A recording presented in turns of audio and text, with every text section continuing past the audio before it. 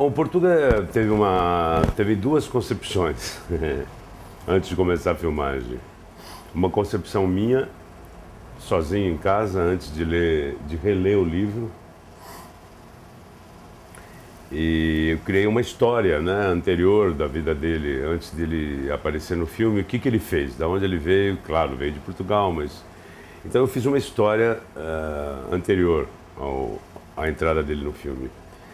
Quando eu cheguei aqui, a proposta da direção de arte do figurino era outra. Era uma proposta de que ele fosse um ou um cientista ou um grande interessado por plantas, por flores.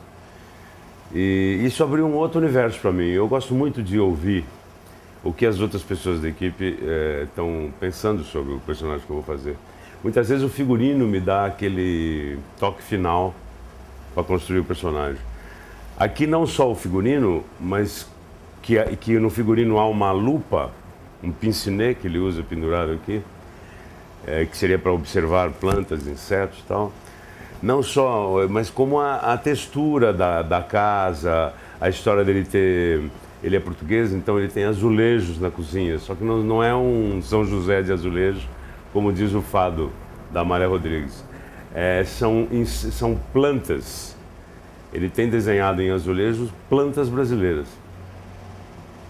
Isso abriu um outro universo, né, para eu aumentar, modificar um pouquinho a história que eu tinha feito dele e, e deu uma outra, uma outra abertura. A partir do momento que ele é uma pessoa que gosta de estudar plantas e insetos, tem um, um pedaço da casa dele onde tem uma coleção de insetos, é, é, esse enfoque mudou.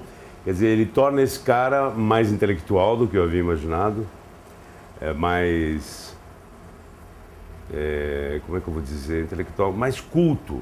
Um outro tipo de Portuga, um outro tipo de português. Diferente daquele português estereotipado que a gente está acostumado a ver é, na maioria dos filmes e tal. O português de Botequim, do Rio de Janeiro, é o seu exemplo mais, mais clássico, né? O envolvimento dele com o Zezé é um envolvimento quase que de homem para homem. Isso foi uma coisa que ontem, numa cena, a gente caminhando, eu e o João Guilherme, veio na cabeça. Eles conseguem uma amizade que extrapola a diferença de idade. São dois seres humanos, dois homens que ficam amigos num determinado momento da vida.